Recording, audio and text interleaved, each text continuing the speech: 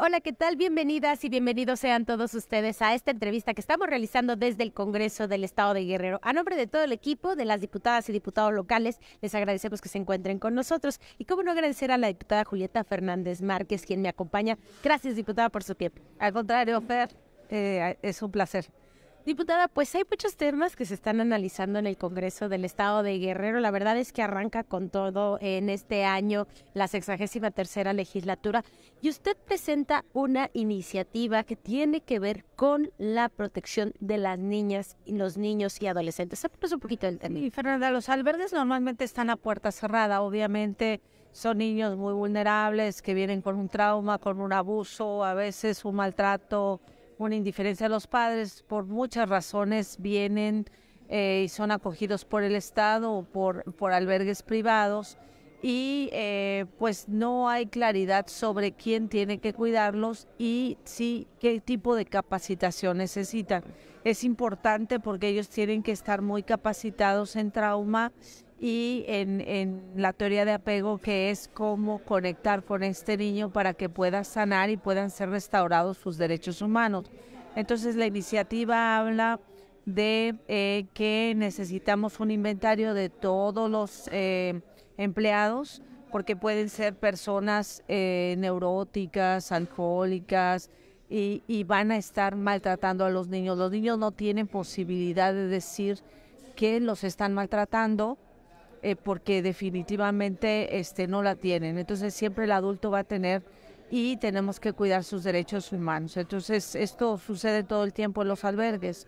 Entonces el objetivo, digamos, diputada, es que las personas que están en estos albergues, en estas casas hogar, estén capacitadas no solamente para su educación, sino también para su guarda, para su protección. Porque sí ha habido quejas en diversos albergues donde se dice que, que las niñas, los niños y los incluso los adolescentes pues son maltratados. Sí, claro. Y son maltratados no porque los cuidadores quieran maltratarlos, porque a veces no tienen la capacidad para hacerlo.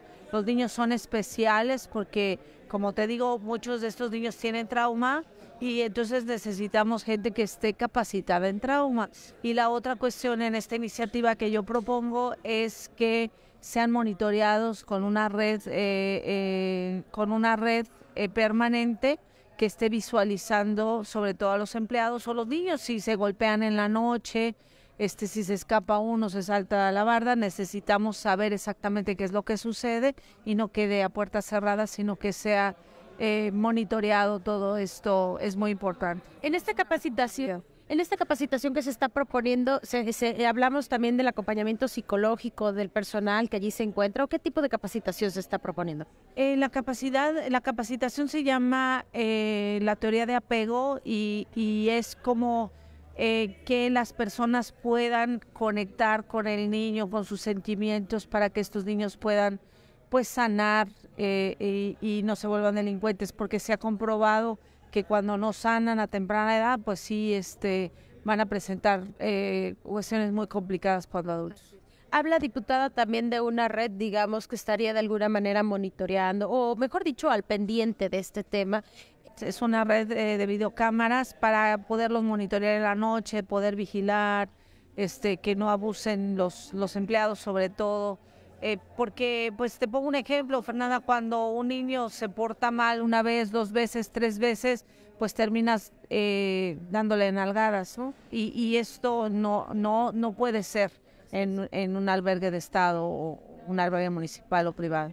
Pues vamos a estar muy al pendiente. Esta iniciativa ha sido presentada de una serie ya de iniciativas que ha venido presentando usted para la protección del menor, diputada. Así es, creo que es eh, el niño eh, eh, y la niña en Guerrero no tienen voz todavía y pues yo quiero ser la voz de estos niños para poderlos proteger.